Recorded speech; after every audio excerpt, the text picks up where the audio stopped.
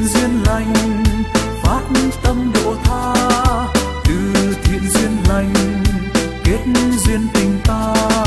Từ thiện duyên lành, sẽ chia gần xa. Từ thiện duyên lành, trái tim vị tha. Từ thiện duyên lành, phát tâm độ tha. Từ thiện duyên lành, kết duyên tình ta. Từ thiện duyên lành sẽ chia gần xa, từ thiện duyên lành, trái tim vị tha. Từ thiện duyên lành, phát tâm độ tha. Từ thiện duyên lành, kết duyên tình ta. Từ thiện duyên lành, sẽ chia gần xa. Từ thiện duyên lành, trái tim vị tha từ thiện duyên lành phát tâm độ tha. Từ thiện duyên lành kết duyên tình ta. Từ thiện duyên lành sẽ chia gần xa. Từ thiện duyên lành trái tim vị tha. Báo với đại chúng và hôm nay là à, từ à, chúng ta từ thành phố Hồ Chí Minh. À, có à, nghe một cái tin là em tên gì? Dạ con tên Dũng. Gì Dũng? Dạ Nguyễn Tấn Dũng. Nguyễn Tấn Dũng này bao nhiêu tuổi? Dạ con 25 ạ. con 25 tuổi. À, bị cái, à, cái cái thương tật này bao nhiêu lâu rồi? Dạ con bị 3 năm. 3 năm. Dạ. là cỡ như năm nào tới năm nào nó nay? Năm 2012 2012 rồi từ năm 2012 đến giờ rồi con như vậy rồi con làm gì con sống? Dạ con cũng bệnh đau rồi con ở nhà chứ con cũng không có làm gì cả. Không làm gì rồi? Cái cái cái cuộc sống mà ngày ai lo? Dạ ba ba với má. Ba với má? Dạ đi làm luôn. Để làm nuôi? Dạ. À thì có ngày ở nhà vậy là dầm nhà thôi. Dạ. Như dư vậy thì ăn trộm vô làm sao mà bắt? Dạ, con cũng biết.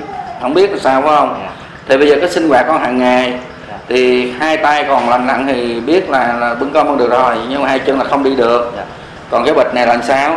Dạ, con để ra ngoài đi đừng có ngại Dạ, bệnh này là con đi đi tiểu không được bị liệt cái cơ vòng đi tiểu không được nên là phải mổ bằng quang bung dây vô cái bụng rồi để, để dẫn nước tiểu ra. Ờ. Dạ. Rồi là, là, là bác sĩ nói chừng nào mới tháo cái này ra? Dạ bác sĩ kêu là nó cái này là đeo quả đời chứ không tháo được. Ồ đây có đời luôn. Dạ. Vì không đi không đi không đi tự chủ không đi tự không tự chủ được. Dạ. Là coi như là cả đời là cứ đi bịch vậy. Dạ. Ồ rồi sinh hoạt rồi tắm rửa là tự tắm được. Không ai giúp được mình không ai cần không cần ai phải giúp phải không? Dạ. Đúng không? Dạ. Ừ. rồi con dẹp cái bịch đi. À, kính thưa quý vị. À, hôm nay đi là có ông chú à, ở à, ông chú ở huyện nào này hồi nãy mời đi á. À rồi à, tất cả là phật tử ở đây. À, đến đây với lại à, cháu Dũng vì à, vừa qua là trên Facebook á của thầy à, chùa Quang Minh học Pháp Chánh Pháp có nhận được cái tin là là, là, là cháu Dũng cần cái à, cái dàn máy vi tính để làm gì nè? Ừ, con cũng suy nghĩ con suy nghĩ là con cuộc sống con con đã bị vậy rồi thì giờ con cũng mong muốn là có một công việc gì đó để à, làm để à, có một chút gì đó để là phụ giúp với ba má lo thuốc thang để cuộc sống con hàng ngày. Giờ cha mẹ con hàng ngày làm cái gì? Dạ ba con thì đi làm thuê cho người ta. À, ba con là ai đâu nè? Dạ ba con. Rồi mời mời mời chú đó đây. Rồi mẹ con là là cháu nó bị như thế này cháu Dũng bị như thế này thì cô chú à, đi làm thuê mà làm thuê cái gì? Dạ. Dạ đứng đàng hoàng lại. dạ con á thì đi làm ai kêu đi làm nấy à? Dạ ngày nay À. kêu cháu dũng kêu là có thầy tới con ở nhà để đón thầy. Dạ. ừ. Thì cứ ai kêu gì làm nấy. Dạ. Dạ. Ờ. là làm nông đó thầy. Nông. Dạ. làm nông. Dạ. Rồi à, cái kinh tế hàng ngày là chỉ đi làm mướn không có làm Dạ. mới có ăn. Dạ. Dạ, ngoài cái làm mướn ra rồi ví dụ mình không đi làm mình có gì ăn không? Dạ có chứ. À. dạ. Cái gì sống dạ. Không ai mướn hết mình lấy gì mình sống. Dạ thì nói Có chung lúa, giờ được mấy trăm mét ruộng. được mấy trăm mét ruộng. Cháu nó bệnh rồi Bán hết rồi, ba năm đây rồi con bán hết. Bây giờ người ta thấy không có người ta lại cho Cá. cá lại để làm để có gạo cho cháu ăn. Còn à, hàng ngày thì con ở nhà thì chăm à, sóc à, cháu Dũng á, à, còn ảnh thì đi làm cho họ đi làm mướn ra cho họ cứ họ kêu xớt cỏ cuốc đất rồi bấm cành cà phê làm gì thì đi làm để có tiền dạ. Nói chung á là trước đây á là cháu Dũng khi chưa bị à, thương tật. Dạ. Thì gia đình vẫn à, kinh tế vẫn là thoải mái. Dạ. rồi tạm gọi là thoải mái. Dạ. Nhưng mà từ ngày cháu Dũng bị như vậy rồi thì có bao nhiêu ruộng nương là bán hết. Dạ dạ rồi khi bán xong rồi người ta lại cho mình thuê ngược lại. Dạ Ừ, phải vậy không? Dạ À. à, à, coi như là mình màu một năm là mình trả nhiêu tiền hay nhiêu lúa rồi đó đúng không? Dạ. ờ. Rồi giờ hiện tại là là là, là ba Dũng là phải đi làm. Dạ. Làm thôi hàng ngày nếu ngày nào không làm thì Dạ. cũng hơi cực phải không? Dạ không có tiền. À, thì à, nhà cửa thì cái nhà của cháu thì bên kia. Cái rồi à, cháu nó bị à, nói chung gia đình cũng à, ba bốn năm nó xui xẻo tấp nập tới là miết cái rồi đau bệnh rồi cháu nó cũng bị tai nạn rồi bị hết cái nọ đến đứa kia. Cái rồi con cũng đi coi thầy thầy nói là con làm cái nhà hồi xưa là hồi nở mắng là ông trúng cái ngày xấu quá ông coi thầy coi rồi chết. À, cho nên giờ cái nhà đó là không thể ở được. Cái rồi con à, đi vay mượn rồi anh em rồi sốt làng ta giúp đỡ giờ nói chung không ở nhà đây nhà cũng của người ta chứ không phải là của mình. Ồ, nhà này là nhà của người ta chứ không phải nhà mình. Con đem cháu qua đây là được à, bữa nay là 4 tháng. Ờ. là đưa cháu về còn nhà kia là con không không ở hẳn luôn á. À. Người ta cho đơn vị để cháu qua đây. Dạ, mà từ khi con thấy chuyện nó qua đây đến giờ là thấy nó ít đi bệnh viện. Dạ ít đi bệnh viện ít sốt chứ còn 3 năm hai năm rưỡi là bắt đầu là con phải đi bệnh viện miết luôn. Ừ. dạ đi về đi về ở bệnh viện nhiều hơn ở nhà cái từ khi cái rồi à, người ta giúp đỡ làm thì chuyển qua bên đây ở là bắt đầu cháu nó đỡ sốt đỡ đau. À, từ khi chuyển qua đây bố như nhà này người ta mà người ta nào mà người ta cho ở đó thì tốt chứ vậy? Dạ họ họ cho mình vay Cho để làm mượn. á. Dạ họ cho vay tháng nhiêu mướn Dạ. tháng nhiêu à, nói chung là mới đây rồi cũng có tiền à, họ nói họ thôi cứ giờ cái trước mắt thì gia đình cái đem qua ở là đã thấy vất vả quá. Rồi từ từ rồi người ta họ mới nói. Dạ chứ còn nhà con nhà cái nhà sát bên. À, coi như là đồng đầu là người ta cho ở tạm. Dạ. Hay là tiền bạc thì từ từ thỉnh thoảng. Dạ thì giống như là người ta thấy mình cái hoàn cảnh người ta chưa thể nói số tiền liền và lấy tiền liền. Dạ. À, nó, nó là như vậy. Dạ. À, cái chỗ này là kính thưa quý vị là cái phần gia đình à, chúng ta đang đứng đây. À, bởi vì chúng tôi đi đi khảo sát để giúp em. dạ thì hẳn nhiên chúng tôi phải làm cái cảnh thực tế. Ở nhà nào chúng tôi phải quay để làm việc cái nhà đó như thế này. Dạ. Thì à, bây giờ chính thức cái nhà này là mình mướn dạ. chứ không phải là nhà chính thức mà nhà chính thức này giờ không thể ở được. Dạ. Thì chúng tôi thấy cái nhà bên kia Dạ. à, một lát nữa thì cũng phải lấy cái tài liệu bên kia. Dạ. nhưng mà bây giờ không thể ở được thì coi như là cháu bị 3 năm. Dạ. Nhưng mà hai năm mấy là đã bị cứ sốt tới sốt lui Dạ. khi đi qua đây là khoảng 4 tháng này là cháu nó không có Dạ. tái diễn cái vấn đề sốt nhiều dạ à, thì chứng tỏ là đi coi thầy thầy nào nói cái nhà đó là không tốt thì chuyển qua đây nó lại ổn định thì đó cũng có phần đúng rồi Dạ. thì à, cái phần này à, nếu sự thật mà cháu Dũng qua đây mà không có mà là cái diễn biến à, cái sức khỏe mà diễn biến tốt á thì phần này nếu mình tin tưởng thì nó trở thành cái mê tín Dạ. à, nhưng mà cái này là cái tin tưởng đây là cũng có cái sự thật dạ à, thì hôm nay là cái thực tế ở cái ngôi nhà này là à, cháu Dũng ở đây là mướn thuê. À, giờ quyền vọng cháu Dũng là muốn cái dàn máy nào nè. Ừ, dạ con làm thì con muốn làm in. In. In? Dạ. Dàn máy in? Dạ. À, dàn máy in. Thì kính thưa quý vị là vừa qua chúng tôi có người bạn làm bên à, phần in ấn á. Có nghe cháu Dũng nói nên hỏi thăm. Thì à, người bạn có nói là khi gặp cháu Dũng thì à, điện thoại qua cho người bạn.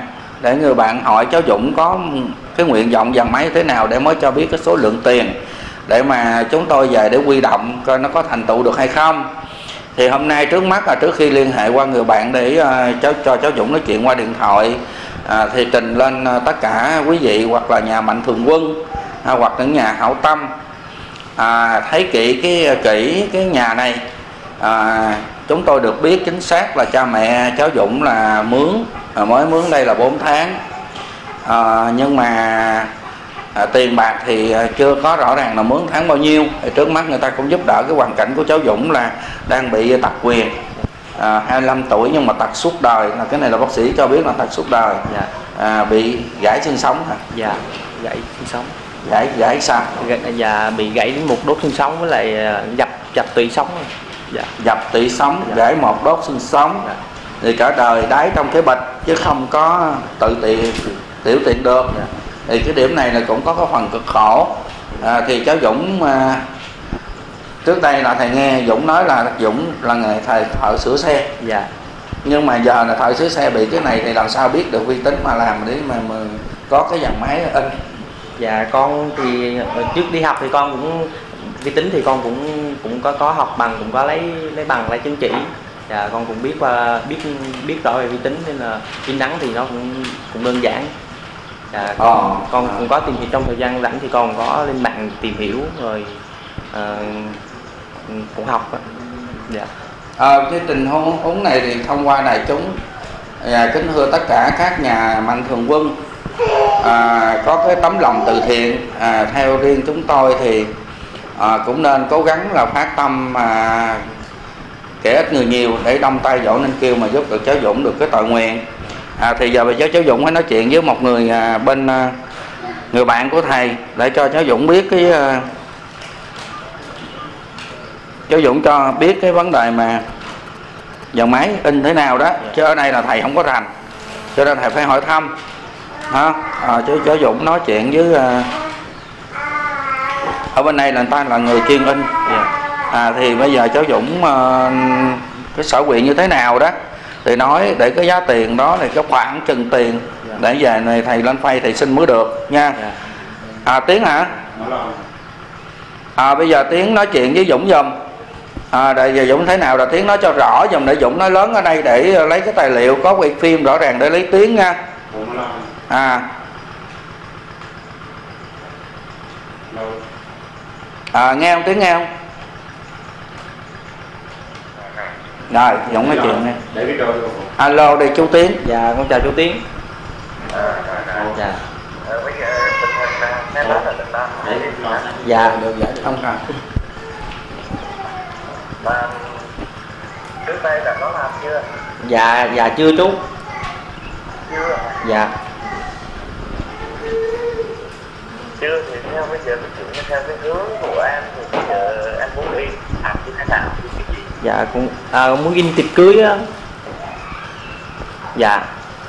Cưới thì bây giờ cái đó thì mình nếu mà trước giờ chưa làm thì nếu mà giờ lên đến thì ở làm đến thì có ai phải không chị nữa dạ cái này học thì hồi trước in tiệc cưới thì cái phôi thì mình à, thì mình chỉ đi lấy cho của người ta về rồi người, ta đặt bao nhiêu thì mình lấy bao nhiêu còn mà cái đục bên trong á thì mình đánh mình đánh anh. Tức là bây giờ ít cưới á, thì nó là ít lụa đúng không? Dạ. À thì bây giờ người ta đặt cái màu nào thì mình đi mua cái màu đó thì đúng rồi. Dạ. À nhưng mà rồi cách chụp bản chụp đồ rồi có biết không?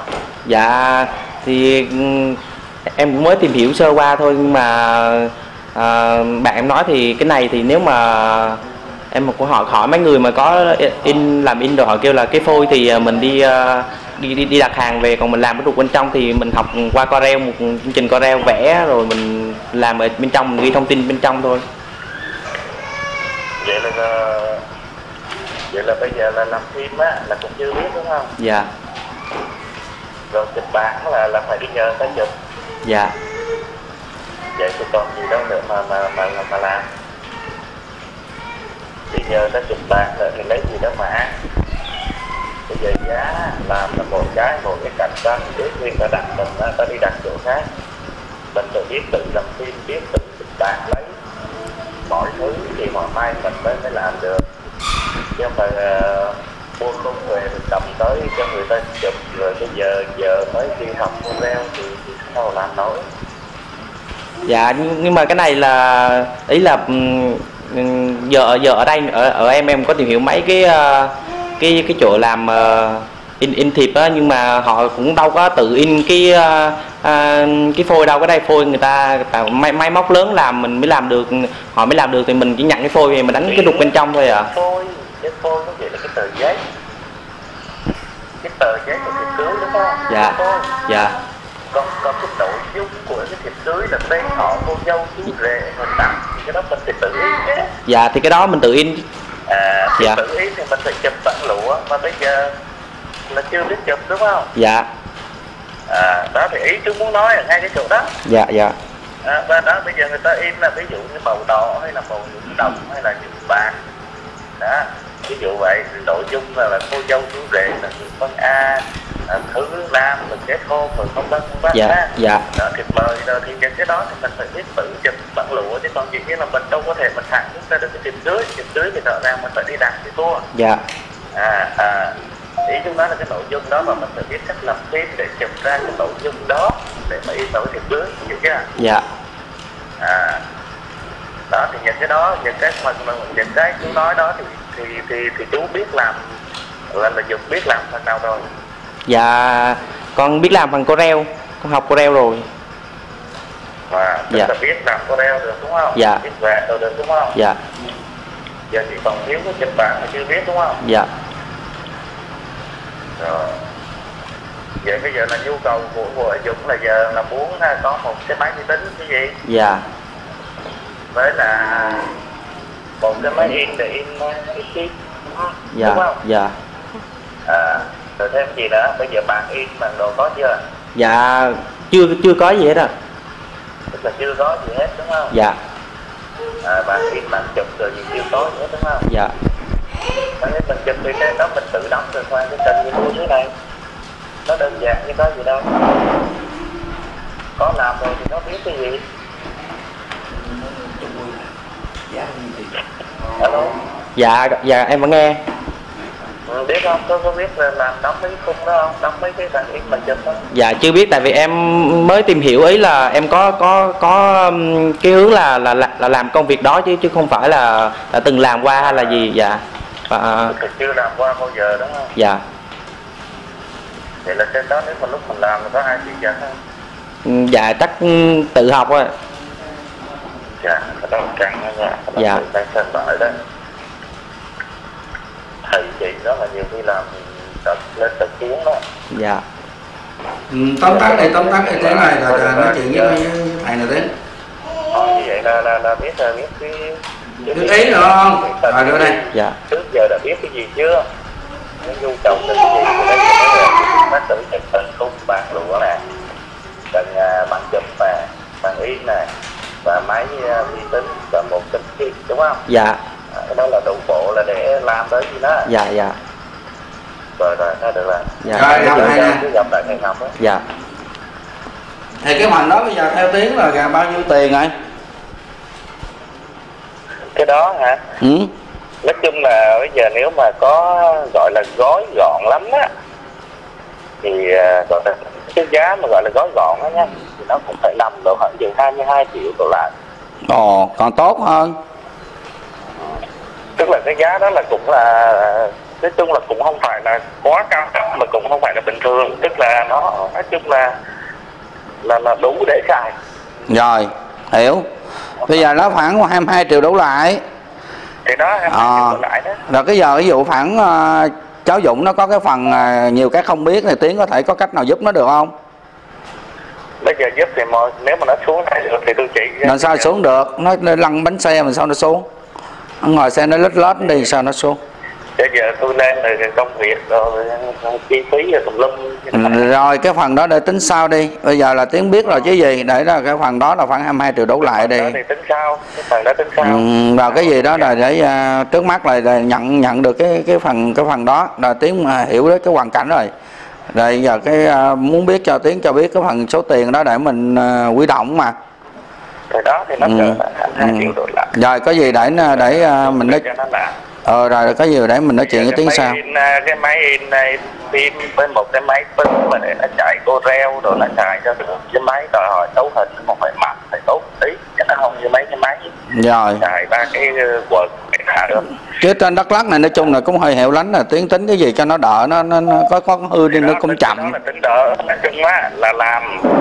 Do thì bây giờ làm sao mà để tại tôi cũng tính là trên đó nó hẻo lắm ừ. Khó sửa khó đồ nhưng Đúng rồi. nó hư vặt á mua cái máy mà dồn dồn nó hư vặt thì nó đi sửa tội nghiệp. Ờ. Đó à, mà cao cấp quá thì nhiều khi là cũng quá khả năng. Thì À. giá nó là cái giá là coi như là, là tốt cho cả đôi bên. Rồi rồi rồi rồi thôi được rồi cảm ơn tiến cái phần đó đi hen coi lát nó có gì lên xe thì mình nói chuyện tiếp rồi hỏi thăm tiếp. À, rồi rồi chào tiến nha. Rồi, rồi. à, rồi giờ thay cái uh, nguyện vọng của uh, dũng á là dũng như thế nào? Là dũng uh, nói chuyện đi để uh, tự cái ý mình muốn như thế nào. Rồi vô nguyện vọng chúng uh, dũng xin như thế nào thì Dạ. dũng nói đi. Ở đây là có cô bác ra chứng kiến. Dạ. để rồi thầy dài thầy lên phay là thì xin uh, quy động tiền phụ cho dũng Dạ, trước tiên thì uh, hôm nay có mặt thầy ở đây về thăm con, thì con cảm ơn thầy và các các, cô, các bác.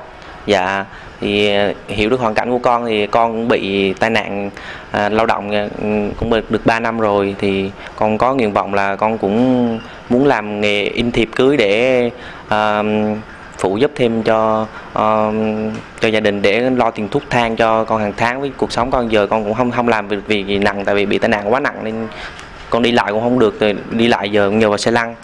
Thì à, con có nguyện vọng là làm nghề in in tiệp cưới nhưng mà gia đình thì không có đủ khả năng để mua sắm các thiết bị để cho con làm à, để phục vụ cái việc con con muốn làm. Vậy thì qua thầy thì ờ, con xin ờ, ờm, có nguyện vọng là nhờ các mạnh thường quân ờ, có lòng hảo tâm thì ờ, giúp đỡ cho con để con thực hiện được cái, cái mong muốn nguyện vọng của mình hiện tại giờ dũng ở địa chỉ nào dũng nói luôn Dạ con ở à, tỉnh Đắk Lắk, huyện Crong Bách, ờ, xã Ea Phê, thôn 5A. ừ. Dạ. rồi số điện thoại của dũng dũng đọc đi Dạ số điện thoại con là 01646 075 171. Đọc lại là 01646 075 171. Rồi Dạ. cái phần này á là thầy muốn dũng nói cho rõ. Để thí dụ trong thời gian mà thầy quy động á thì có một mạnh thường quân nào ta muốn đích thân ta tới gặp dũng? Thì người ta biết được nơi điểm để người ta tới để gặp cho dũng để nó nó tiện hơn. À, thí dụ họ tới được thì họ dũng cũng nên cho thầy hay để thầy đừng quy động thêm nữa. À, để tránh cái chỗ là các nhà mạnh thường quân à, hiểu lầm là thầy à, có cái cái phần lạm dụng. Mà hay là như thế nào đó mượn dũng để quy động tiền. Thì cái khoản này là thầy à, có cái phần hơi ái ngại. À, tuy rằng mỗi một cái công việc thầy làm à, nó đúng ra là cái này không phải là chuyên nghề của thầy. Dạ. nhưng mà tại vì thầy nghe qua là dũng bị cái tai nạn vậy mà tuổi trẻ nên thầy có phần hơi đau lòng nên thầy mới tình nguyện đi đến đây để làm cái công việc này lần đầu tiên trong cuộc đời. Cái xưa nay là thầy chỉ quy động từ thiện với phóng sanh thôi. À, với làm à, việc à, hỗ trợ cho các em học sinh nghèo. À, đó gọi là hội khuyến học. Chứ còn à, ba ngoài ba điều này là thầy chưa có làm vấn đề này. Lần đầu tiên thì à, nghe qua một cô phật tử tâm sự nên thầy mới gặp dũng qua điện thoại rồi dũng chụp hình gửi qua phay cho thầy là thầy thấy cái tình huống này thầy mới đích thân lên. Bởi vì xưa nay thầy làm cái gì là thầy phải đích thân tới khảo sát ví dụ hỗ trợ cái chùa đó thầy cũng đến chùa đó khảo sát. Rồi năm nay thì gặp dũng thầy cũng phải khảo sát. Thì thầy muốn danh chánh ngôn thuận à, thông thiên bạch nhật dưới nhà phật là làm cái gì phải thật. Dầu là ai nghĩ nghĩ quấy mình nghĩ xấu mình là thầy không có ngại. Mà thầy chỉ ngại là thầy làm sai thôi cho nên thầy mới muốn dũng đọc số điện thoại của mình địa chỉ của mình để lát nữa thầy lên phay để ai có đích thân người ta âm thầm đến gặp dũng để coi nhiều thầy có làm đúng hay sai thì để đây thì ở cái nhà này là theo cha mẹ nói là mướn. Thì ở đây chứ còn à, trường hợp ví dụ như thường khi mà đến đây thầy, thầy lên phay mà cái nhà như thế này thì nhiều người người ta không thích thầy người ta vẫn đâm thọc là người ta nói cái nhà này tốt giàu sang dư giả đó thì người ta vẫn đâm thọc được cho nên chỗ này là thầy muốn Dũng làm rõ nói rõ như vậy thì những vị nào mà ta đến đây đích thân gặp Dũng thì Dũng cũng nên cho gặp cha mẹ để trao đổi và tâm sự cái nguyện vọng của Dũng. Dạ. để cái việc làm của thầy nó không có bị à, chướng ngại sau này. À, thế thể thầy còn giúp cho người khác được nữa. Dũng hiểu nè. Dạ con hiểu. à, thì nguyện vọng của Dũng thì thầy cũng mong muốn cho Dũng ráng cố gắng được cái sự thành tựu cái chuyến chuyến, chuyến cái chuyến này Dạ. để là thầy cũng cố gắng thầy giúp cho Dũng được à, thành tựu như thế nào thì cũng còn cái duyên lành của Dũng nữa Dạ. hiểu không Dạ, hiểu. à, thì Dũng hàng ngày ngồi dày thì thầy mong Dũng cũng ráng niệm Phật theo thầy hướng dẫn là Nam Mô A Di Đà Phật Dạ. ráng niệm thường xuyên để cái phước cái đây là cũng do cái nghiệp của mình Dạ. giống như nhiều đời Dũng tạo cho người ta bị bại liệt hay là bị một cái vết thương rất là trầm trọng không thể giúp ích gia đình được thì ngày nay Dũng phải bị trả trả bằng một cái cách nhân quả đến rõ ràng. Thì bây giờ nếu Dũng hiểu được cái lời này, thầy nói thì Dũng ráng niệm Nam Mô với Đạo Phật để cho cái nghiệp của Dũng càng ngày nó càng mòn đi và bớt đi, để cái phước tăng lên để Dũng làm được nhiều cái công việc để giúp cho bản thân cũng như đỡ cho cha mẹ. Giúp bản thân mình tức là giúp cho cha mẹ rồi. Cái điểm này là nhất phát là Dũng phải nghe lời thầy niệm Nam Mô A Di Đà Phật rõ ràng. Thường niệm thường niệm trong việc làm cử động, hành động, hành vi của mình trong in thiệp cưới hay là làm gì ví dụ như lao cái bàn cái gì đó dân dân Dũng vẫn làm trong cái danh hiệu Nam Mô A Di Đà Phật cho thầy. Đó thì để cho Dũng giảm cái nghiệp này để sau này cái gia đình nó đỡ hơn. Dũng nghe rõ không nè? Dạ nghe rõ. À rồi Dũng còn có ý gì nữa không? Ý kiến gì nữa không? Dạ con xin cảm ơn thầy và các bác. Dạ. À, mời ba Dũng lên này Dũng. Ở à, lát nữa đây là chúng tôi cũng phải chia tay gia đình à, của cháu Dũng ra về thì chúng tôi cũng mong sao các vị à, các nhà mạnh thường quân cũng như là những cái tấm tấm lòng từ thiện à, nhân ái để hỗ trợ cho cháu Dũng được à, đủ cái phước à, duyên được cái dàn máy in thiệp đám cưới. Rồi những cái gì gì đó trong cái bộ đó cho nó đầy đủ là theo như qua à, người chuyên in là à, bạn của chúng tôi là, là, là chú Tiến ở để nói là có khoảng 22 triệu đổ lại. Thì cái phần này chúng tôi khi lên phay à, cũng mong muốn cho các mạnh thường quân thương cháu Dũng mà, mà giúp đỡ cái phần này. À, khi làm những việc gì chúng tôi vẫn tuyên bố người đó bao nhiêu tiền. Trong khi mà khi giao tiền cho cháu Dũng chúng tôi vẫn tuyên bố và vẫn làm phim để đưa phim ảnh để đưa lên rõ ràng để thông báo cho đại chúng biết. Để cái ngày kết quả à, chúng tôi xưa nay là từ từ thiện đến à, phóng sanh à, đến à, hỗ trợ cho học sinh nghèo. Chúng tôi chưa bao giờ mà không tuyên bố. Nên những cái việc gì làm thì chúng tôi rất là công khai. Thì hôm nay là lần đầu tiên để hỗ trợ cho cháu Dũng ở Đắk Lắk này. Thì chúng tôi muốn à, sau này để được thành tựu cái phần này cho được à, mau lẹ hơn. À, giờ à, ba của chú cháu Dũng là có nguyện vọng gì? Có ý kiến gì? Dạ thì con thì cũng có ý kiến gì thì ờ, trước hết là thầy với mấy bác ờ, mấy chị thương thăm thì ờ, cũng cũng quý rồi. Thì à, nó, tai nạn nó rủi ra ra thì ai cũng khổ hết nhưng mà kêu là nuôi cháu cũng được thôi nhưng mà tự nó mà nó kêu bây giờ là thấy ba mẹ khổ quá. Nó không thể nào để nhìn ba mẹ cô nó, nó kêu là nó đi bán bánh mì là con không cho. Đó. Nó kêu con để con kiếm tiền mua mấy ngồi kêu con ngồi được con ngồi bây giờ nó ngồi cỡ cái ngồi là ngồi cái chuyện sai chắn một game thôi con ngồi không có được lâu. À, ngồi in là phải lâu. Mà nó kêu con làm việc vì cái đó là tùy trọng của nó để cho nó nó, nó vượt qua nó đau chút con thì thì bây giờ nó lỡ rồi suốt cuộc đời thì mình phải chịu khổ với con. À, với đạo Phật à, kính thưa đại chúng à, tình huống là nó chính xác như vậy thì à, cái tình cha mẹ ai ai cũng phải muốn bảo vệ con mình. Nhưng mà cháu Dũng muốn để đần đỡ đần cho cha mẹ thì cái tình huống này thì giống như thầy vừa nói là do nó cái nghiệp cái nhân quả cháu Dũng phải trả. Thì có thể theo cái uh, tục lệ xưa nay ông bà tổ phụ mình để lại thì trong gia đình năm bảy đứa con phải có một đứa gánh cho gia đình giống như cháu Dũng hôm nay có thể nó gánh cho gia đình cho anh em nó, hoặc là cho cha mẹ nó. Thì nhưng mà đối với anh em thì có thể không nuôi nó nổi, nhưng mà cha mẹ nuôi nổi. Nhưng làm gì đi nữa thì à, định lực nhà Phật thì vô thường. Chưa chắc thì cha mẹ sống à, nhiều chục năm để mà lo cho cháu Dũng được. Nên cháu Dũng có cái ý, cũng vì có cái thương cha mẹ cũng như chữ hiếu. Muốn giúp cho cha mẹ đây là cũng là cái tốt. Nhưng mà theo cha ba cháu Dũng nói là ngồi trong vòng một tiếng đồng hồ thì có thể say sẩm xỉu thì cái điều này là Dũng cũng phải giữ sức khỏe này theo dõi cái sức khỏe mình. Dũng không thể để cho mình xỉu nhiều lần mà sanh ra cái bệnh tật mà ở đây là nhiều khi in thiệp cưới này dư không bao nhiêu. Nhưng mà khi à, bị bệnh nặng trở lại thì nó cũng giống là như không. Thì cái điều này thì à, thầy mong Dũng khi mà được cái dàn máy này thì Dũng cũng ráng một là ráng giữ sức khỏe. Cộng theo cái niệm Phật Di Đà để à, Đức A Di Đà có hỗ trợ cho Dũng phần đó rồi à, đừng có để phụ lòng nhà mà các nhà mạnh thường quân khi người ta hỗ trợ cho mình. Để à, cái sức khỏe mình đã làm mà cái sức khỏe kém đi để là cha mẹ âu lo nữa thì cái này thầy thấy cũng không có tốt lắm. Cho nên là muốn làm được cái việc này thì Dũng nên cố gắng giữ sức khỏe mình là một hai đó niệm Phật nhiều hơn để có cái công đức nhiều hơn Dạ. để chuyển vào trong gia đình. Dũng nghe rõ không nè? Dạ nghe rõ. À, nam mô di đà phật. À, cũng kính trình à, tất cả các nhà mạnh thường quân à, theo cái tình huống của gia đình như thế này thì chúng tôi xin lặp lại. À, khi chúng tôi bước chân vào à, cái nhà này chúng tôi thấy cái quan cảnh nhà này thì chúng tôi cũng có phần áy náy khi đi quy động. Nhưng mà khi nắm được tình hình thì đây là gia đình cháu Dũng ở cái nhà rất bé à, rất nhỏ rất là đơn giản. À, hiện giờ lại là chất những cái cây cối à, để giống như một đồ người ta xin mượn đó nơi đó để chất đồ. Thì cái nhà này là chúng tôi được biết là mướn à, để lại mướn lại ở để cho đổi phong thủy để cháu Dũng đỡ bệnh. À, cái chỗ này mà cháu Dũng có cái phần này thì xin à, các nhà mạnh thường quân ráng cố gắng à, mở cái lòng từ ra rộng rãi ra.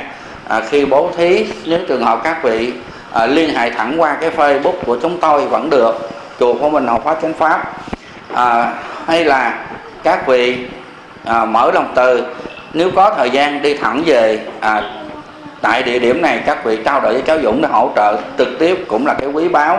Đó là sự mong muốn của chúng tôi. À, trước khi dứt lời à, chúng tôi xin chân thành cầu chư Phật mười phương hỗ trợ cho các vị và phù hộ cho các vị. Khi hỗ trợ cho cháu Dũng các vị được gặp nhiều may mắn và làm ăn thuận lợi hơn. Và trước khi dứt lời chúng tôi cũng cầu mong như vậy. Và cầu chúc cho gia đình và cháu Dũng à, luôn luôn giữ có sức khỏe và niệm Phật nhiều hơn để à, sau khi mà được cái dàn máy này để làm có phương tiện giúp cho cha mẹ ha nhất là phải giữ sức khỏe. Và niệm nam mô di đà phật thật là thường xuyên. Dũng nghe không nghe rõ không nè? Dạ à rồi nam mô di đà phật. À, xin kia là trân trọng kính chào toàn thể quý vị à, và đại chúng. A di đà phật